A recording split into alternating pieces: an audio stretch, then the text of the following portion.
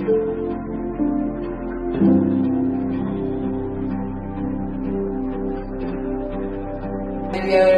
so blessed to have you here. And uh, let's move forward for the awards. And I think all the awardees are waiting for them. to welcome our next awardee is Dr. Rakesh Joshi, everybody. Please welcome on stage Dr. Rakesh Joshi, decades and is a beacon of hope and innovation in eye care beyond providing ethical and economical eye care services. He thrives on creativity and unwavering commitment to improving the lives of those with visual impairments. And this session is going to be very interesting. One without delay, I'll just start this panel discussion with an opening remark of panelists. We will expand on the thoughts and let's start with our first speaker today. Yeah, I'm, uh, first of all, I would uh, like to thank Mr. Kaurji to invite me onto this. Number one.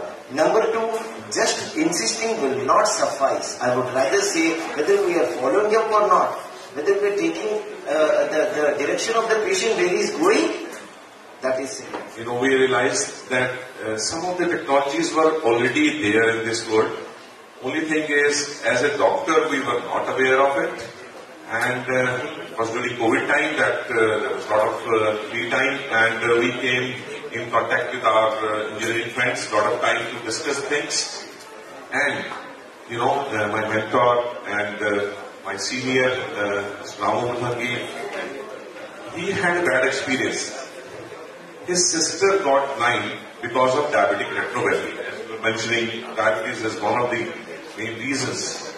And that triggered him to do something about uh, blind people in India. But then, uh, you know, uh, engineers alone cannot do anything, and doctors, of course, cannot make a machine. So, uh, once this uh, association happened, things started uh, taking shape. And we were able to uh, make the first prototype uh, in 18 months. And now, of course, the second prototype is workable, wearable, and really good uh, product for uh, blind people. So I would suggest that government should make, uh, you know, some of the engineers, you know, we have civil engineers, mechanical engineers, electrical engineers. They should have a course like medical engineers. Some engineers should be doing work for doctors. We have so many ideas, but we cannot implement it because uh, we don't have that know-how.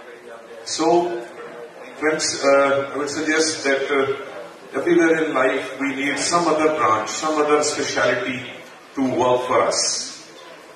We have realized this, we have utilized this, and please keep your eyes open and uh, see to it. If you have some idea and some other uh, person can, uh, with their uh, specialization, can fulfill that idea, please go for it.